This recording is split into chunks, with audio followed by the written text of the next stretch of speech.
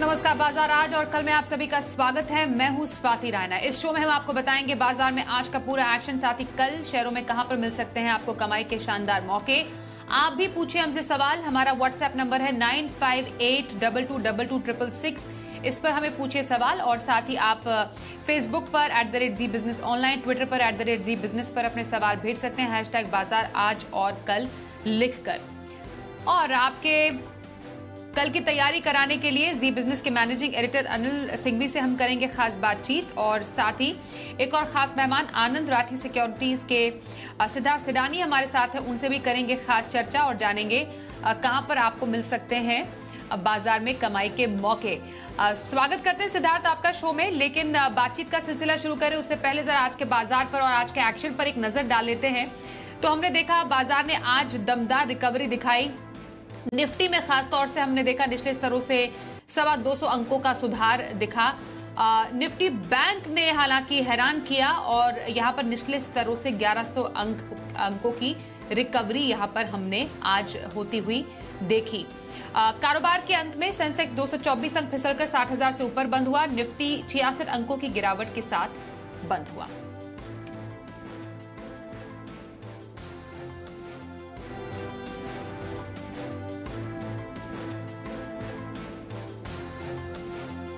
और आइए editor state में अनिल जी से समझते हैं कि इतनी तेज गिरावट के बाद बाज़ार में शानदार रिकवरी आई कहाँ से?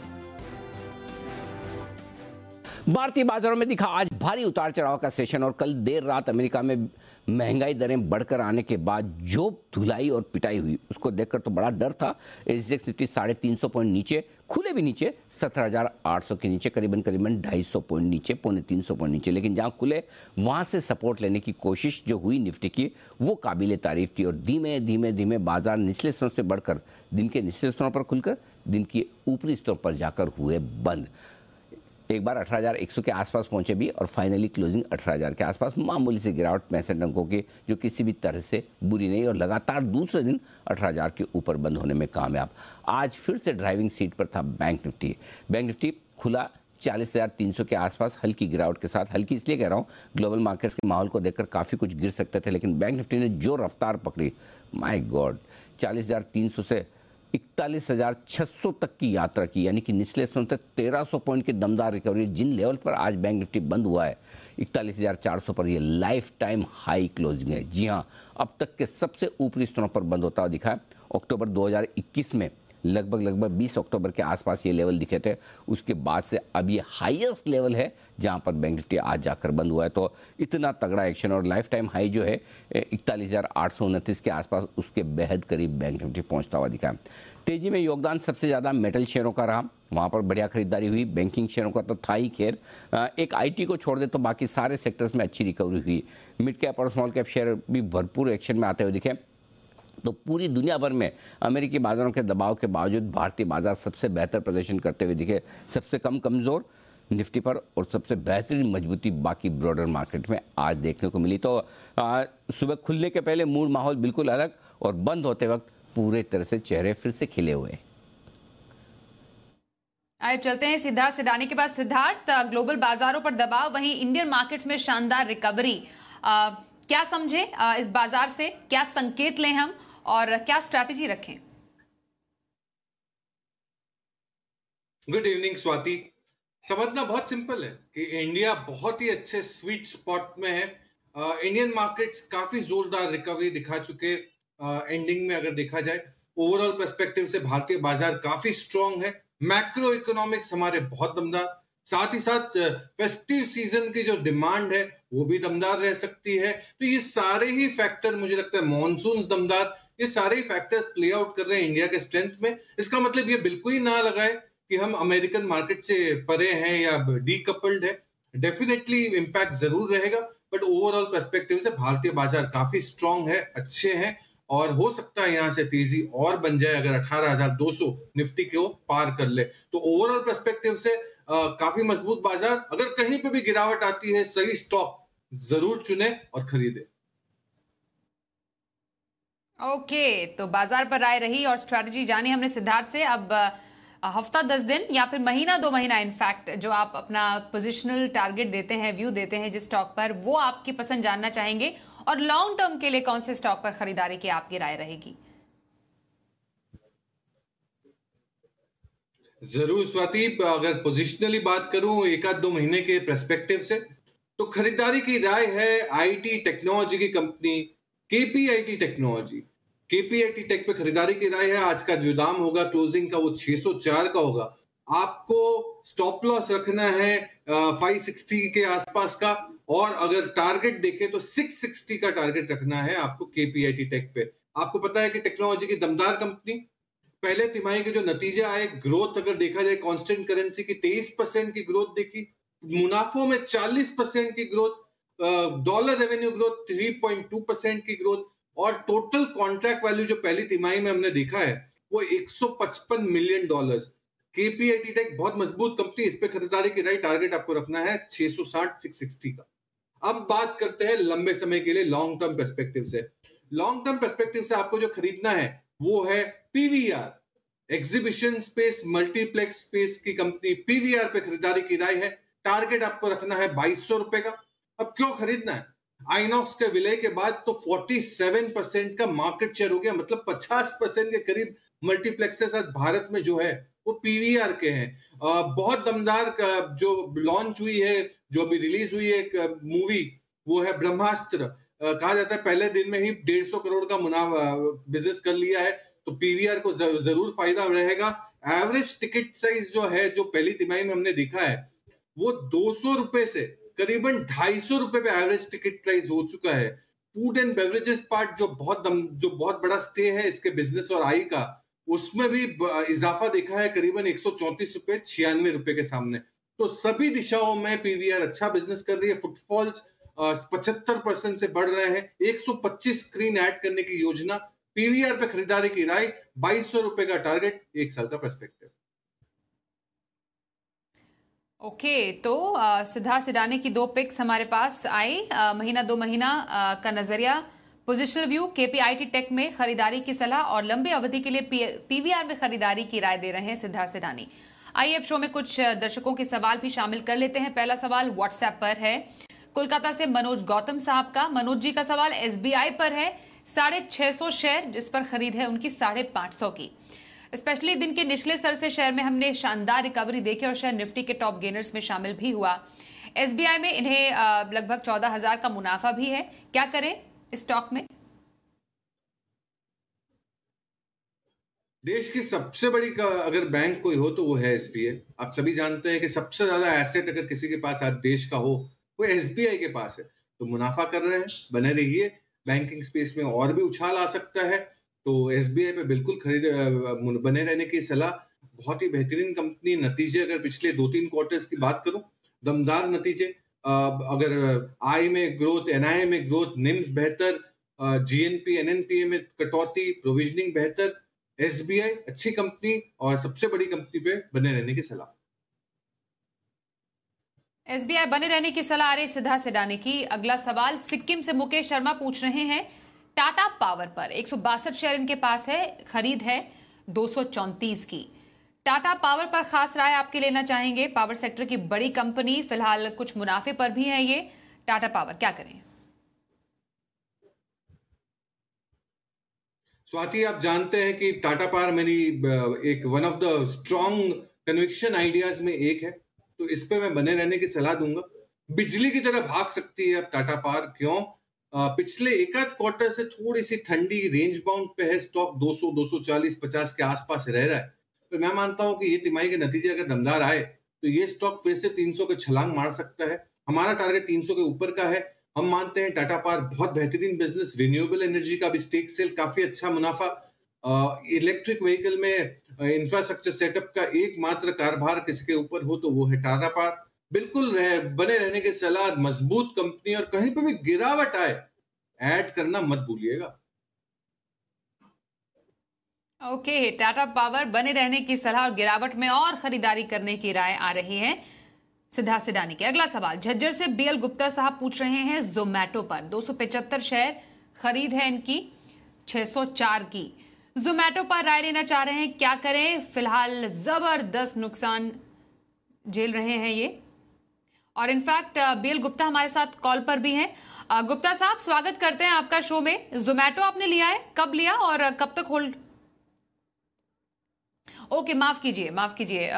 साठ के लेवल पर उन्होंने किया है आवर मिस्टेक साठ की इनकी खरीद है दो सौ पिचहत्तर शेयर इनके पास हैं। और नुकसान तो भारी है लेकिन क्या करें? सॉरी अगेन कुछ लेवल्स पे बदलाव है। थोड़े मुनाफे में सॉरी सिद्धार्थ अब आगे बढ़ सकते हैं बिल्कुल बिल्कुल थोड़े मुनाफे में है। आ, मैं तो ये कहूँगा कि नए जमाने का बिज़नेस है पर नए जमाने के दूसरे बिजनेसेस मुझे काफ़ी बेहतरीन लगते हैं रादर देन जोमेटो तो आप ट्रेडिंग परस्पेक्टिव देखिए और मुनाफा बाँध के निकल जाए। हाँ आप अगर सोच रहे हैं कि नए जमाने का बिज़नेस ही खरीदना है तो आपको एक कंपनी ज़रूर सलाह दे सकता हूँ और वो है map my India mapping digital mapping की company B to B business में 80 परसेंट का मार्केट शेयर कौन सी कौन सी कंपनी को सप्लाई नहीं करते हैं अपने mapping services BMW Maruti PhonePe Paytm Uber और कई कंपनियों को मैकडोनल्ड्स तो map my India C info system पे खरीदारी की राय जोमेटो से निकल जाए। जोमेटो से निकल जाए map my India CE info system जिसे कहते हैं, उसमें जाने की राय आ रही है। हमारे आज के इस पर सिद्धार्थ सिडानी की। चलिए अगले कॉलर से बात करते हैं। लखनऊ से स्वाति गुप्ता हमारे साथ Swati ji welcome to the show बताइए कौन से स्टॉक पर सवाल है आपका? जी हैंडल को हमने लिया था two hundred stock four four one पे। हम्म। जी तो इसका क्या okay. है कब तक होल्ड कर सकती हैं? जी बस वन मंथ ओके okay. छोटा नज़रिया। एक महीने का नज़रिया हिंडालको पर लेकर चल रही हैं। क्या राय देंगे इन्हें? बने रहने की सलाह क्योंकि मज़बूत कंपनी है नॉन फेरस स्पेस की हिंडालको और केपेक्स प्लान भी है अच्छी कंपनी है। यूरोप में जिस हिसाब से शॉर्टफॉल हम देख रहे हैं क्लोजर्स देख रहे हैं प्लांट का स्टील को ज़रूर इम्पैक्ट होगा मेटल्स को इम्पैक्ट होगा तो हिंडालको पे बने रहे। हिंडालको बने रहे सलाह आ रही है सिद्धार्थ सिडानी की। चलिए अगला सवाल लेते हैं चंडीगढ़ से ऋषभ मल्होत्रा पूछ रहे हैं, वेदांता पर सवाल। साढ़े चार सौ शेयर, दो सौ पिचहत्तर है इनकी खरीद इस पर। शेयर में हमने देखा दस परसेंट का उछाल भी देखने को मिला। वेदांता पर क्या राय रहेगी आपकी सिद्धार्थ जी? फ़िलहाल अच्छा मुनाफा है इन्हें। सोचना ही नहीं है स्वाति इस पे बने रहना है। फॉक्सकॉन के साथ जो सेमीकंडक्टर बने बनाने की योजना है, बहुत बड़ा इन्वेस्टमेंट बहुत बड़ी योजना। वेदांता मज़बूत कंपनी बनाने की सलाह, और यही सेम लॉजिक अप्लाई होता है जो हिंडालको पे होता है। यूरोप में जिस हिसाब से शटडाउन इलेक्ट्रिसिटी के प्राइस जो उछल गए हैं गैस की सप्लाई शॉर्टेज पे मेटल्स स्टील ये सभी को फ़ायदा होगा मतलब दूसरे देशों के कंपनियों को। तो इसमें वेदांता भी एक है तो वेदांता पे बने रहे। वेदांता में बने रहे रायारे सिद्धार्थ सिडानी की। अगला सवाल, रायगढ़ से गिनेश जैन साहब भेज रहे हैं आईओसी है इनका स्टॉक तीन हज़ार शेयर खरीद है बहत्तर रुपए, छब्बीस पैसे की। आईओसी क्या खास स्ट्रैटेजी आपकी तरफ़ से सिद्धार्थ? कुछ नुकसान इन्हें। मुझे तो कम समझ में आता है ये शेयर और ये भाव पे मैं मानता हूँ कि आप निकल जाए। गैस की कंपनियों पे आप अपना दाव लगा सकते हैं। जैसे कि Gujarat gas one of the oil and gas की कंपनी उस पर दाव लगाए। आईओसी पे मुझे बहुत ज़्यादा मजबूती या कॉन्फिडेंस नहीं दिख रहा है आज के तारीख में। गुजरात गैस बेहतर विकल्प है आपके लिए। हो सकता है कि सेक्टर में एक मोमेंटम बने तो गुजरात गैस में पहले बन सकता है। तो गुजरात गैस पे आप स्विच कर ले। ओके okay, आईओसी से निकलने की सलाह आ रही है आपके पास और गुजरात गैस में आप एंट्री ले सकते हैं ऐसा मानना है। सिद्धार्थ सिडानी का। अगला सवाल, प्रयागराज से विनय सिंह साहब टीसीएस पचास शेयर इनके पास है खरीद इनकी तीन हज़ार एक सौ उनतीस की। टीसीएस पर आय मांगना चाह रहे हैं कि क्या करें स्टॉक में, जिस पर इन्हें कुछ नुकसान है? विनय सिंह के जो विनय सिंह साहब के जो प्रश्न है, उस प्रश्न से मैं बहुतों के प्रश्नों को जवाब दे दूँ। टीसीएस पे बहुत लोग चिंतित है कंसर्न है टेंशन ले रहे हैं। चल तो रहा नहीं है सर क्या बात करते हैं? एक चीज़ कह दूँ कि अगर आपको भारत देश या इंडिया पे थोड़ा सा भी कॉन्फिडेंस हो तो टीसीएस में बिल्कुल कॉन्फिडेंस रखना पड़ेगा। देश की सबसे बड़ी टेक्नोलॉजी की कंपनी सबसे अव्वल नंबर की कंपनी और इतना भी कह दूँ कि एक कंपनी ने जब दाम चल रहे थे अड़तीस के तो पैंतालीस सौ रुपए में बाईबैक किया अठारह हज़ार करोड़ के क्वांटिटी के शेयर्स तो आप सोच सकते कितना कॉन्फिडेंस है कंपनी को अपने ही खुद के बिज़नेस पे। थोड़ा सा संयम रखे, धीरज रखे। टीसीएस बिल्कुल आपको अच्छा मुनाफा दे सकता है, बने रहने की सलाह पूरी तरीके से।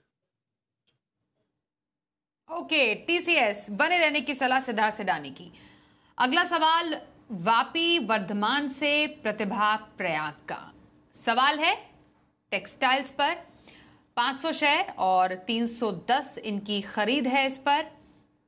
वर्धमान टेक्सटाइल्स पर माफ़ कीजिए, वर्धमान टेक्सटाइल पर सवाल है। 500 शेयर इनके पास है और 310 इनकी खरीद है और कुछ मुनाफा भी है, क्या करें?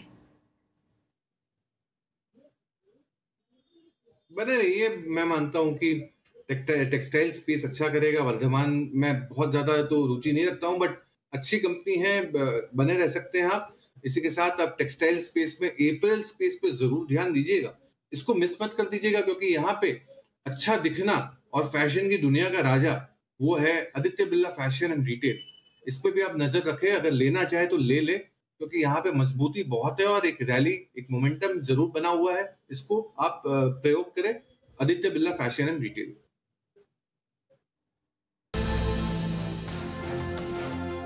कल के बाज़ार पर क्या रहे खास स्ट्रैटेजी और बाज़ार के लिए अहम संकेत समझते हैं अनिल जी से।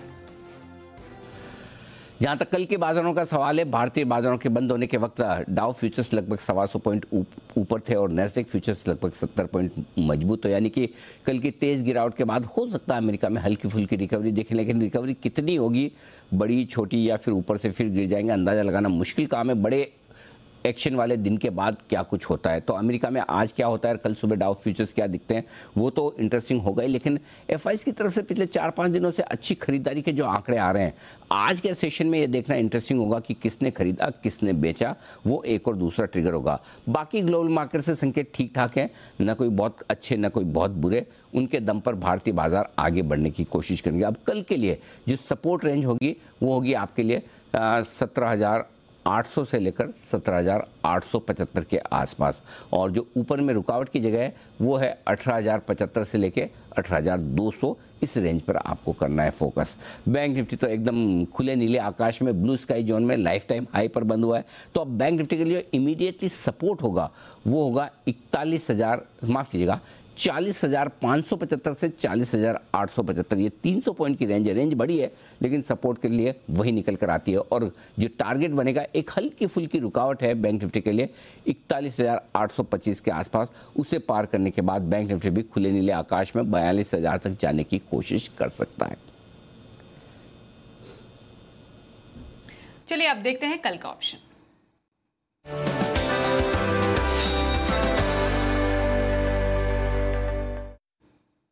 और कल के ऑप्शन स्ट्रैटेजी बताने के लिए मोतीलाल ओसवाल के चंदन तापड़िया हमारे साथ है। चंदन जी, स्वागत करते हैं। कल के ऑप्शन स्ट्रैटेजी के लिए कहाँ पर ऑप्शन बताएँगे? जी, नमस्कार। देखिए, बाज़ार में नीचे के लेवल से काफ़ी अच्छी रिकवरी हुई थी। निफ्टी ने सत्रह हज़ार सात सौ सतहत्तर के लो के आसपास का सपोर्ट लिया और लगभग अठारह हज़ार अठासी के जो प्रीवियस डे हाई थे, वहाँ तक की रिकवरी देखी। तो काफ़ी अच्छी क्लोजिंग हुई है और कहीं ना कहीं ग्लोबल संकेतों के बावजूद भी जो बाज़ार ने रिकवरी दी है, वो काफ़ी रिमार्केबल है। आज के दिन आप देखोगे बैंकिंग काउंटर काफ़ी अच्छा परफॉर्म कर रहे थे selective capital goods cement metal counter में पॉजिटिव मूव था। तो ऐसा लग रहा है इन सारे सेक्टर में पॉजिटिव बायस रहेगा। तो दो ट्रेडिंग सेटअप है। एक तो सीमेंट्स पे खरीदारी की सलाह रखेगी। सीमेंट्स लगातार तीन दिन से हाई राइज लोज बन रहा है। दो दिन पहले कंसोल्टेशन ब्रेकआउट हुआ था। एक परफेक्ट बुलिस कैंडल यहाँ पे देखने को बन रहा है। और कहीं ना कहीं जो प्राइस सेटअप बने हैं, वो इंडिकेट कर रहे हैं कि ऊपर में बत्तीस सौ बत्तीस सौ बीस तक के अपसाइड बनने चाहिए। तो सीमेंट्स का इकतीस सौ चालीस की कोल लेने की सलाह रहेगी। सत्तर से पिछहत्तर रुपए के बीच में लें। पचपन रुपए का सपोर्ट रहेगा, ऊपर में 115 तक के टारगेट बनेंगे। दूसरा ट्रेड रहेगा, वो सीमेंट पैक से रहेगा। उसमें इंडिया सीमेंट काफ़ी अच्छा लग रहा है। हालाँकि अंबुजा इंडिया सीमेंट एसएससी में काफ़ी अच्छा मूवमेंट हुआ है बट अभी भी ऐसा लग रहा है कि अपटिक बरकरार रहना चाहिए। इंडिया सीमेंट में मेजर क्वार्टरली ब्रेकआउट देखने को मिला है। तो इंडिया सीमेंट का 260 का कॉल लेने की सलाह रखेंगे। इस कॉल को हल्का सा डिप तो ले। 10 से 12 के बीच में ले इसको। सात रुपए का स्टॉप लॉस होगा। और ऊपर में लगभग उन्नीस से बीस रुपए तक के टारगेट इस कॉल में मोमेंटम में बन सकते हैं। बहुत धन्यवाद चंदन जी। ऑप्शन स्ट्रैटेजी बताने के लिए सिद्धार्थ आपसे जानेंगे कल की खरीदारी के यहाँ एक दो दिन का नज़रिया हो तो आ, कौन सी पिक आपकी तरफ़ से? ये सारे ही हमारे वीआईपी दर्शकों के लिए है कल के लिए पिक और ये कंपनी है वीआईपी इंडस्ट्रीज़ बिल्कुल। वीआईपी इंडस्ट्रीज़ पे खरीदारी की राय है। क्लोजिंग 640 के करीब था। स्टॉप लॉस आपको रखना है 625 का और टारगेट आपको रखना है 670 का। बेहतरीन company VIP industries VIP industries intraday खरीदारी की सलाह सिद्धार्थ सिरानी की तरफ़ से। बहुत धन्यवाद सिद्धार्थ। हमारे साथ शो में शामिल हुए। बाज़ार आज और कल में बस इतना ही। रुकते हैं ब्रेक के लिए। देखते रहिए सी बिज़नेस